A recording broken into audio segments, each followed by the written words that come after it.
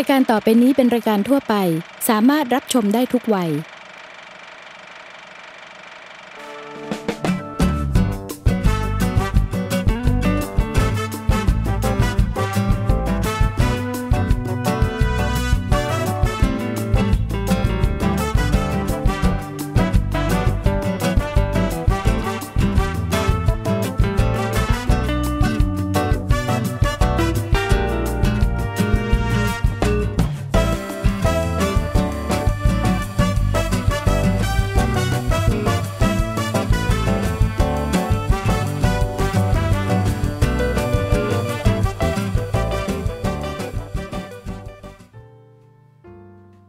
วัสดีครับ กลับมาพบกับรายการลีลาดวัยเก่า รายการที่จะทำให้สุขภาพของคุณผู้ชมนั้น แข็งแรงสดใสทั้งกายและใจ กับผม ธานัทคล้องชดา รับหน้าที่ผู้ดำเนินรายการครับ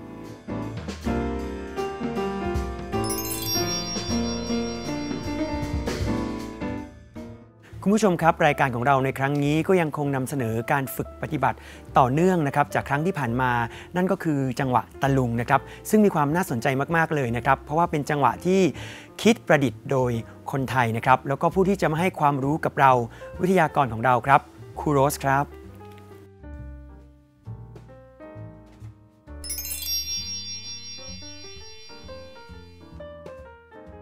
สวัสดีครับครูโรสครับ สวัสดีค่ะ รูโรสพร้อมหรือยังครับ ที่จะมาฝึกปฏิบัติ จังหวะตะลุงให้กับพวกเรา พร้อมแล้วค่ะ คุณผู้ชมทางบ้านคงจะพร้อมแล้วนะครับ ถ้าพร้อมแล้วไปพบกับนักแสดงสาธิตวัยเก่าของเรากันเลยครับ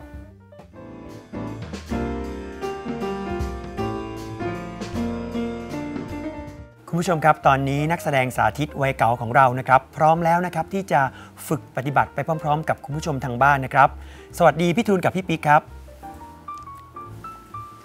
เดี๋ยวเราจะเริ่มฝึกปฏิบัติ figure ที่จะใช้ในจังหวะตะลุงกันต่อด้วย figure อะไรครับคุณโรสครับ ค่ะ ตัวต่อไปก็จะเป็น sweetheart อืมครับนะคะค่ะเดี๋ยวเราจะเริ่มที่ฝ่ายชายก่อนนะคะ figure ตัวสุดท้ายที่เราทิ้งไว้นะจบเอ่อจบจาก spot turn มาครับนะคะ เดี๋ยวฝ่ายชายนะคะ จะถอยขาซ้ายมาข้างหลัง แล้วก็จะมีการโยกนะคะเอ่อ ขึ้นหน้าลงหลังลงหลังขึ้นหน้าแล้วก็ตามเนี่ยครับส่วนก้าวสุดท้ายเนี่ยค่ะเราจะมีการแยกขาออกไป และฝ่ายชายจะก้าวขึ้นหน้า แล้วเราก็จะทำอย่างเงี้ยโยกโยกและแยกข้างแล้วก็ก้าวขึ้นหน้า โยกโยก แล้วก็แยกข้างแล้วก็ก้าวขึ้นหน้าไปทั้งหมด 4 บาร์นะคะ เดี๋ยวเราจะถอยที่ขาซ้ายก่อนนะคะ เริ่มค่ะ 2 เคาะ3เคาะ4และ ก้าวขึ้นอ่าเคาะมาถอยค่ะ 2 เคาะ 3 เคาะ 4 และ 2 เคาะ 2 เคาะ 3 เคาะ 4 และ 3 เคาะ2เคาะ3เคาะ4และ 4 ค่ะ หลังจากนั้นผู้ชายจะเดินตามฝ่ายหญิงไปนะคะ ตรงนี้เป็น 2 3 4 และ 5 กลับไปนะคะ 3 4 และ 6 ทั้งหมดครบ 6 บาร์ค่ะ เดี๋ยวเราจะมาดูฝ่ายหญิงบ้างนะคะ ต่อไปจะเป็น sweetheart ของฝ่ายหญิงนะคะค่ะ ฝ่ายหญิงจะก้าวขาขวาขึ้นหน้านะคะ นับ 2 เคาะ 3 เคาะแล้วก็ก้าวแยกแล้วก็ถอยเคาะนะคะ หลังจากนั้นจะเอาเท้าที่เคาะขึ้นหน้านะคะ เริ่มเลยค่ะ 2 เคาะ 3 เคาะแยก ถอยเคาะโอเคนะคะ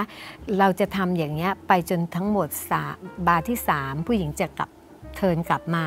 เพื่อให้ตรงกับคู่ และบาร์ที่ 4 จะเตรียมหมุนนะคะ บาร์ที่ 5 ก็หมุน บาร์ที่ 6 ก็จะกลับไปที่เดิมนะคะ เดี๋ยวเราจะทำต่อเนื่องเลยนะคะ ทั้งหมด 6 บาร์เริ่มค่ะ 2 เคาะ 3 เคาะ 4 และ 1เคาะ2เคาะ3เคาะ4และ2เคาะ2เคาะ3เคาะ4และ3เคาะ2เคาะ3เคาะ4และเตรียมอ่าหมุน 2 3 4 และ 5 เคาะ 2 เคาะ 3 เคาะ 4 และ6อืมโอเคนะคะครับ อาจจะมองไม่ค่อยออกนะ เพราะว่าเดินใช่คนเดียวครับเดี๋ยวเรามาเข้าคู่กันดีกว่าดีครับจะได้นะเห็คะนภาพชัดเจนมากค่ะขึ้นครับเมื่อกี้เรา shake hand กันมาแล้วอ่าใช่ไหมครับพอ shake hand เสร็จมือขวาของทั้งคู่ก็จะอยู่ข้างบนครับนะคะ แล้วเดี๋ยวเราก็จะมีช่องในการลอดไปมาสนุกดีนะคะครับค่ะทั้งหมด 6 บาร์เลยนะคะ ช้าๆ เริ่มค่ะ 2 3 4 และมอง 2 3 4 และ 2 2 3 4 และ 3 2 3 4 และ 4 2 3 4 และ 5 2 3 4 และ 6เห็นไหมต้องมีการมองกันเล็กน้อย เนื่องจากเป็น sweetheart อืมเห็นไหมคะครับค่ะ figure ต่อไปจะเป็น ลอดซุ้มถูกไหมคะค่ะ เราจะเริ่มที่ promenade ครับนะคะ ก็คือผู้ชายจะเริ่มที่ขาซ้ายนะคะ แยกขาซ้ายออกข้างนะคะ เป็น 2 แล้วก็ก้าวขาขวา forward ขึ้นหน้า หลังจากเธอ1 4แล้ว แล้วก้าวขาซ้ายขึ้นหน้า เอาขาขวามาล็อกเป็นและ แล้วก็ก้าวขาซ้ายขึ้นหน้าเป็น1นะคะ อันนี้คือ1บาร์ ค่ะ เราจะแยกขาขวาออกข้างๆเป็น 2 แล้วก็เทิร์น1 1 4 วางขาซ้ายขึ้นหน้า แล้วก็ก้าวขาขวาขึ้นหน้าเป็น 4 เอาขาซ้ายมาล็อกเป็นและ ก้าวขาขวาขึ้นหน้าเป็น 1 ก็เป็น 2 บาร์ละ ต่อไปจะเป็นการทำการลอดซุ้ม ก็จะเดินเหมือนพรมินาดเลยในบาที่ 3 เริ่มค่ะ 2 3 4 และ 3 ตอนนี้เราจะเป็นการหมุนกลับนะคะ ก็คือหันเทินกลับมาเลยค่ะ ครึ่งรอบแล้วก็วางขาขวาขึ้นหน้านับ 2 แล้วเราก็เอาขาซ้ายมาชิด แล้ววางขาซ้ายลงเลยนับ 3 ก้าวขาขวาขึ้นหน้า โดยเทิน1 4นะคะเป็น 4 ล็อกด้วยขาซ้ายและแล้วก็ก้าวไปยืนขาขวาเป็น 1 นะคะ อันนี้จะเป็นบาร์ที่เท่าไหร่แล้วนะ เอาเดี๋ยวค่อยนับกันถูครักบไหมผมหลังจากนั้นเราจะทำลอดซุ้มกลับไปอีกครั้งหนึ่ง ตรงนี้ก็คือทำพรหมินาดเหมือนเดิม เริ่มค่ะ 2 3 4 และ 5 โอเคนะคะ หันกลับมาเลยค่ะ 9 เป็น 2 ชิด 3 เธอ 1 4 9 ขึ้นหน้า 4 และ 6 เราจะมาจบด้านนี้ทั้งหมด 6 บาร์นะคะ ค่ะ เดี๋ยวเราขอฝ่ายหญิงเลยนะคะครับดีเดี๋ยวครับพอเข้าคู่แล้วถึงจะมองออกเนาะใช่ครับอ่าขอฝ่ายหญิงเลยนะคะ ค่ะต่อไปเราจะมาดูของฝ่ายหญิง เนื่องจากเราดูของฝ่ายชายไปละครับผู้หญิงก็คือทำตรงข้ามนะคะ เริ่มเลยค่ะ 2 3 4 และ 1 2 3 4 และ 2 2 3 4 และ 3 หันกลับมาวาง 2 ชิด 3 9 4 และ 4 2 3 4 และ 5 หมุน 2 ชิด 3 9 4 และ 6 ค่ะ เดี๋ยวเราจะมาดูการเข้าคู่นะคะ ของชุดนี้ เราจะจับ double hand hold ครับนะคะ เราจะทำต่อเนื่องทั้ง 6 บาร์เลยครับนะคะ เริ่มค่ะ 2 3 4 และ 1 2 3 4 และ 2 ตอนนี้จะเป็นลอดซุ้มนะคะ 2 3 4 และ 3 2 ชิด 3 9 4 และ 4 2 3 4 และ 5 2 ชิด 3 9 4 และ 6 ค่ะ 6 บาร์เรียบร้อยนะคะ ค่ะ figure ต่อไป ขอฝ่ายชายก่อนนะคะ จะเป็น toe heel swivel อืมนะคะครับตอนนี้ฝ่ายชายเราหันอยู่ที่ทางซ้ายถูกไหมครับเดี๋ยวเราจะทำ toe heel ก็คือเราจะเอาขาซ้ายนะคะครับมาชิดแล้วก็ turn มาด้วย 1 4 นะคะอะเทิร์น1 4 ชิด แล้วก็กดด้วยปลายถูกไหมคะ หลังจากนั้นจะเป็นเอาขาซ้ายแยกออกไป แล้วใช้ส้นแตะพื้น หลังจากนั้นเราจะไขว้ขาซ้ายมาทางขวาค่ะ แล้วเราก็ใช้ปลายขาขวาแตะไปที่พื้น แล้วก็แยกเป็นส้นโดยเทินตัวไปด้วยถูกไหมคะ แล้วก็หลังจากนั้นเราก็จะทำเป็นสวีวอลก็เป็น 2 3 แล้วก็เป็น 9 ล็อก 9อ่าสวีวอลอีกข้างหนึ่งไป2 3 แล้วก็ 9 ล็อก 9 โอเคไหมคะ จบข้างนี้ค่ะ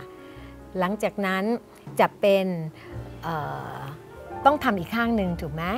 อ่างั้นไม่เป็นไร เดี๋ยวเราจะทำพร้อม เดี๋ยวให้ฝ่ายหญิงมาทำด้วยนะคะครับค่ะ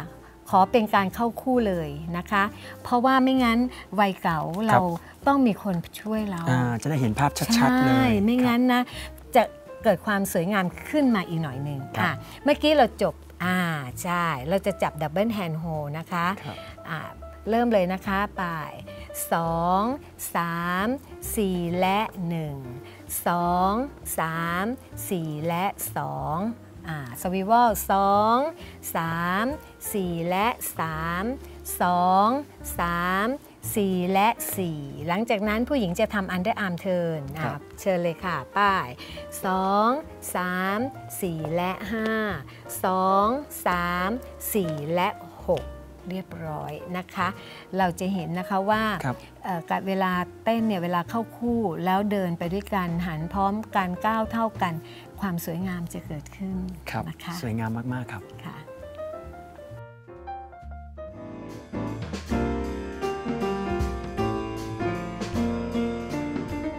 คุณผู้ชมก็ได้รับทราบถึงความรู้นะครับแล้วก็ได้ฝึกปฏิบัติในจังหวะตะลุงนะครับ ครบถ้วนไปแล้วนะครับ ทั้งพื้นฐานแล้วก็ figure นะครับต้องขอขอบคุณวิทยากรของเราครูโรสมาก ๆ เลยครับ เป็นยังไงกันบ้างครับ ไม่ยากเลยใช่ไหมครับ อย่าลืมที่จะหมั่นฝึกฝนกันบ่อยๆนะครับ เพื่อสุขภาพกายที่ดี แล้วก็สุขภาพใจที่จ่มใสนะครับ แล้วก็ท่านใดที่อาจจะดูไม่ทันนะครับ หรือว่าอยากจะเข้าไปดูซ้ำนะครับ ท่านสามารถที่จะเข้าไปดูได้นะครับที่ w w w e t v t h a i t v ครับแล้วก็อย่าลืมติดตามชมรายการของเราด้วยนะครับ ก่อนจะจากกันไปในวันนี้นะครับ เราจะทิ้งท้ายด้วยภาพสวยๆของการเต้นในจังหวะตะลุง พร้อมด้วย figure ที่ใช้ในจังหวะนี้ด้วยให้ได้ชมกันครับสำหรับวันนี้รายการลีลาศวัยเก๋าของเรา หมดเวลาลงแต่เพียงเท่านี้ ผมธานัทค้องชดา และวิทยากรของเราครูโรส ต้องขอลาไปก่อน สวัสดีครับ